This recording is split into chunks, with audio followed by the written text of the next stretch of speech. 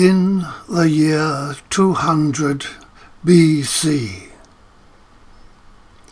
Thus the intolerable and crushing message came from the ruler of the world himself, Alexander, the son of Philip, also the son of Greece, excluding Sparta.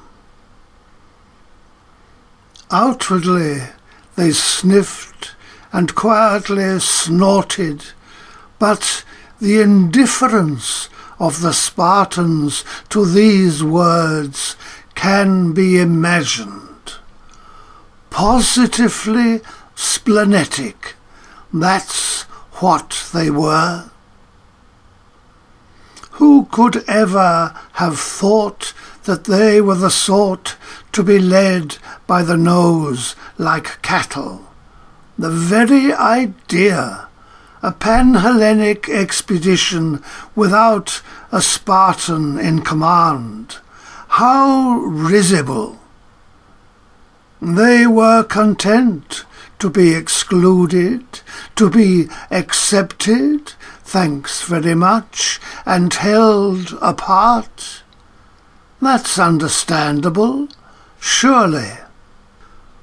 Thus, at those stupendous and world-transforming battles at Granicus, at Issus, and at Arbela, no Spartans no Spartans at glorious Arbela, where the Daryan host was utterly swept away.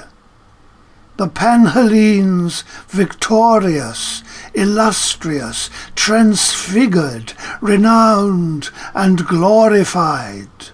A new Greek world established over all.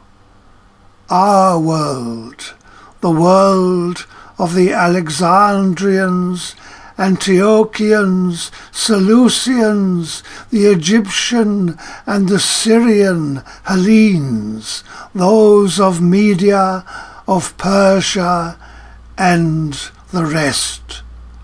Our endless horizons and dominions and arrangements our eagerly adopted common language Everywhere we triumphed and expanded into the farthest corners known to man.